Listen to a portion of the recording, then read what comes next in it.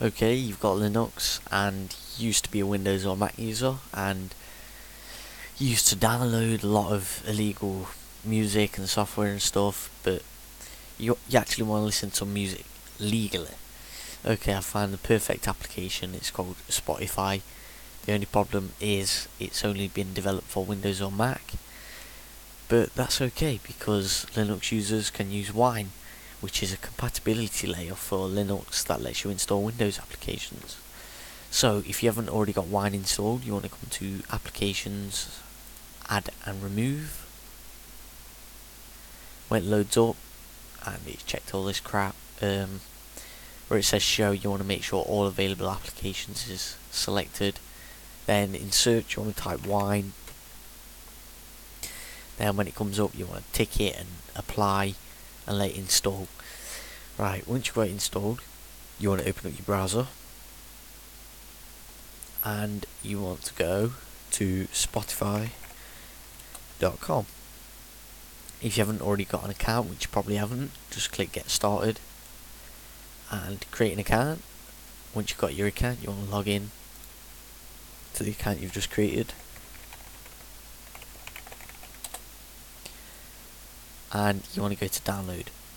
As you can see here, it says if you're using Linux, you might want to try running Spotify under Wine.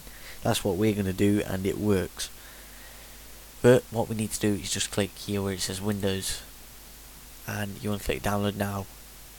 Then save file, OK.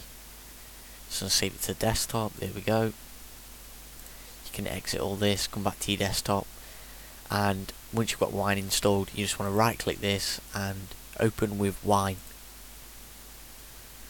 Then it's just going to open it as if it was a Windows, like, like you were on Windows, just click install. There we go, it's installed it. And then it's going to boot up Spotify and log in using the account we just created remember, sign in, and there you go, you're logged in Spotify. And just to make sure it's working, I'm going to play an Iron Maiden song.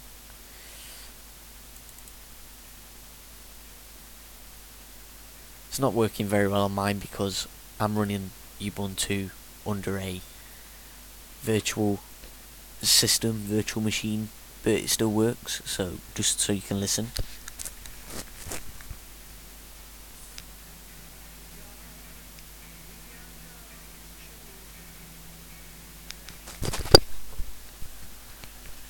So there we go, it works. That's Spotify under Linux.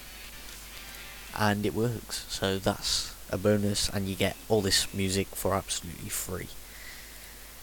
Thanks for watching, I hope this helped and stay tuned for more.